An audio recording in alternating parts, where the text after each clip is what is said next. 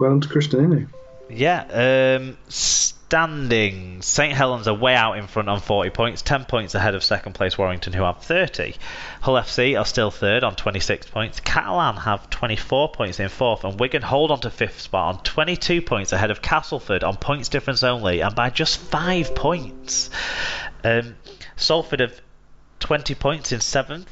Wakefield have 18 points in eighth. Then come Huddersfield, Leeds, Hull KR on 16 points. Broncos sit bottom on 14 points. Now, we don't want to throw ahead too much, but it's a good point to just have a quick chat about this bottom of the table situation and who's in trouble and who's who's uh, out of trouble and, and that sort of stuff. I would say Salford probably just about okay now.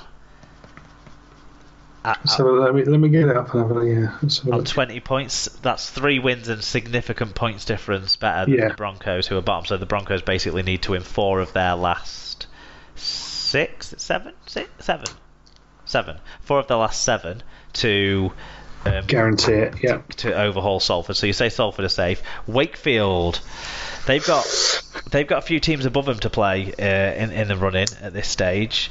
They might be worrying about it, um, but I'm starting to feel like the Broncos have run out of steam.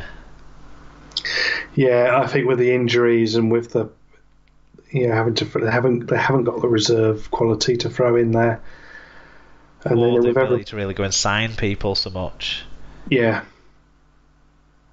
yeah, because it's not that you know any, anyone playing for the Broncos has to move and play for them. They can't just get someone who can travel across for a couple of months, can they? And you've also got the aspect of you kind of thinking you're going down, so is it better to stay at the club you're at and maybe get a game here or there than go to a club that you might play for the next seven weeks, but it's not necessarily going to enhance your contract options because you're going down potentially.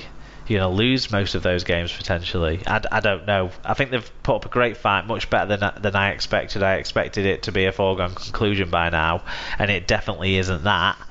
And this London Broncos side have surprised us before, but Yeah, it's tough for me to see them getting enough points to overhaul those guys above them now. Uh, uh, Because sure they play only half a game every week, and it's not enough at this stage of the season. Yeah. I mean, let's let's let's bring up their um, their rundown and see who they've got. But this is going to take me a second. Well, they've got Saints next week, and Saints will want to make sure that they make amends for what happened last time out. Their website is as appalling as it as usual. Um, so yeah, they've got Saints at home next week. Week after, they're at home again to Salford. That's why they've got to be looking at points. Um, then they're away to Cass, away to Catalan. Can't see them getting much out of either of those, given mean, you never know the way those two. but Yeah, yeah. but those true. two are going to be looking for wins now. They're in a playoff race, and you know they've got a much higher caliber of player and a much better depth of squad. You would say. and then then then the two weeks following it are pretty horrible. Broncos against Leeds on the first of September. That's going to be quite something. Then eighth of September, KR against Broncos. It could be all over by then, though, couldn't it? It could well be, yeah, Interesting. yeah, it could well be. And then and then Wakefield away on the last day of the season. Well, they've beaten Wakefield twice already this year, so that's a winnable one for them. So, if they're still in contention at that stage, they'll have hope. I would say. If they can win, if they can get to a point where winning those last two games keeps them in the league, um, I think that they should be optimistic. That not optimistic, but hopeful. But then it's, it's the hope that kills you. It is the hope that kills you. Stat line of the week. David Mead, uh, one try assist, seven tackle bust, but hugely that 219 meters. That's a, a big, a big number to be putting up, and much bigger than anyone else did this week around. Um, player of the week. I'm going to go off the games that I saw rather than just the ones that I've read about and seen highlights of. So I've got to go with Johnny Lomax uh, for me as the player of the week. I think he was absolutely everywhere. Not everything he did came off against Wigan, but he was always in a great position and always read what his players were doing around him and you know managed to convince the sideline uh, touch judge that a forward pass wasn't forward as well. That's how strong his magic was in this game. Johnny Lomax is my player of the week. He was brilliant. Um, I would go for um, Danny McGuire for this for this week. For the performance, obviously he's had that point to prove, but I just think he really he really bossed it and uh, drove us home. Yeah, highlight of the week. I mean, the best try I've seen this week was that Quinlan one with the, you know, hot potato game down there on the last tackle as well, running the ball. It's exciting. It's what you want to see happen as well from sides. You know, a bit of that. Uh, yeah, I'm going that one. Yeah, can't argue with that one in the predictions um, Super Ruin Fantasy League updates from last week, Alan was four out of six and Sarah was three out of six. So that gives Alan 68% overall. Sarah's on 56, and uh, me, I'm still on 66, and you're still on 57 because we didn't pick last week's games but we will have a chance to change those figures this week ahead. In the Superoo, uh, Alan is doing well there as well. He stays top of that table. Neil Ritson wears the yellow cap this week, so congratulations to Neil, who I think is a St Helens fan. Make sure you get your fan reviews in on St Helens matches, Neil. That would be fantastic. Uh, in the Fantasy League, Alan Bagley stays top. Andrew Curry, who's one of those in the in the top five chasing pack, he had the best weekly score. The um, Wales-based Wigan Warriors fan, isn't he, Andrew? Uh, yeah. 704 was his score. He beat me by two. but well done to Andrew. Great weekly score there. Um, thanks for everyone who got in touch with their fan views on, on this week. Make sure you check out the, the links on Twitter for the Google form for next week's games. If you aren't a Twitter user but you want to get your match reviews in, send us an email at Super League Pod. Uh, sorry, Super League Pod at Google no, hold on. I'll try that for a third time. SuperLeaguePod at gmail.com or get in touch with us through facebook.com forward slash SuperLeaguePod. Um, and we'll give you the link that will you can use every week after every match you see and uh, send us your views in that way. But yeah, um, punctuation. Cheers.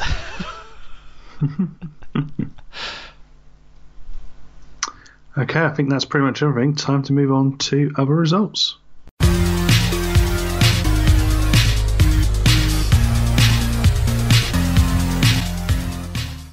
Right then, time to move on to the other results section and starting with Championship Round 21, where it finished Sheffield 28, Dewsbury 22, Rochdale nil, Toulouse 68. Were they back at. Um, they were back at the Crown. Oil. where they should be. Yeah, yeah. they were, but um, it didn't help them because uh, one of a winger that I really want to see kick on, and I think he actually could be a Super League standard winger if he just just tried a bit harder to concentrate. Ilias Bergal, he scored six tries in this game, I think. That's pretty good going. Yeah. Uh, Toronto 22, Featherstone 18. Yeah, we got a, a fan view in from Attila Murphy, who said, "Cheeky scamp Jack Bussey tried to tried to take a cheap shot on Darcy Lussick, who proceeded to hammer him somewhere into next week, yet only get 10 minutes. Extenuating circumstances, it was Jack Bussey. Hot- Free pass. Hardcastle took uh, also took O'Brien out with a late shoulder charge in the second half. In short, typically committed physical performance by Leeds reserve side. TWP matched them. Not pretty, but a good character test passed. Yeah, I mean Featherstone last year were the first side to go over and win at the Lamport Stadium. So for Toronto to hang on in this one is better than they did last year against Featherstone at home. Yeah, uh, Barrow 8, Leigh 24. Batley 14, York 14. Well done to Batley for that one. Indeed. Uh, vital point for them. Bradford 34, Swinton 34 in the other draw. Well, and Swinton should have won this one. Um, Bradford scored very late to uh, take a share of the points. A vital point for both sides, though. Yep, and Halifax 40, Widnes 10. Finally, Halifax win again, and the standings mean uh, from those results the Wolfpack now have an 11 point lead at the top of the sit table with six fixtures left to play. York hold on to second on 29 points, one point ahead of Toulouse and Leigh. Featherstone on 26 points are in the final playoff side at the moment. Bradford have 25 points and Sheffield have 24 points as they chase the top five. Halifax have 18 points in eighth or kind of purgatory, no man's land. Not really sure. They're not going down. They're not going to make the the playoffs. Swinton now have 15 points. Batley have 13 and Widnes have 12. Dewsbury and 12 have 11 points and a game in hand on those around them sorry, a winning hand on those around them because that game in hand must be against Rochdale. Yeah. Barrow in 13th have nine points. So actually, that Dewsbury game in hand is most damaging to Barrow, you would think. And bottom place Rochdale on two points and minus 620 points difference look doomed to League One. Now that we know more likely that it's going to be a 14 team championship still in 2020. Well, who knows yeah. until it actually starts, yeah. Um, in League One, round 16, it finished Coventry 20, Hunslet 48. I was obviously at this game uh, at Rugby Football Club. Uh, quite an interesting uh, little venue, uh, sort of down next to a next to a gym behind a Sports Direct, which is quite a fun fun little uh, little place. Did but you, um, um, did you do any sort of like serious truthing on them about this Webb Ellis bloke and how didn't really not really the case? No, I didn't feel that it was time to get all Tony Collins on them, but um, it was. Um, it's a. It's not as. It was more. It reminded me of White Bank. If it reminded me of anywhere, it was that sort of quite small stand, very close to the pitch. Um, quite nice on a day like yesterday where you could stand out. I was out on a balcony on the clubhouse, but weirdly, the clubhouse, rather than being in the middle, so it was looking down the the halfway line um, I think I was on the far edge and I was pretty much on the 20 metre line. So you're in one corner, really. Well, there's a lot of grounds around that are a bit like that. So um, it was an interesting vantage point. So the camera angles be been quite fun as well, watching that one back. But uh, it was really nice little little setup there, uh, and really friendly people. We had quite a few locals come down and check us out as well. As a family of six or seven that came in when I was on the gate um, just um, came to find out what was what was going on. They were locals, and we had a kids um, festival before playing Oxford Cavaliers, so it was quite fun. Uh, see some of those guys and um, get those uh, get those playing. So we had under I think it was under nines, under 11s, and under 15s playing.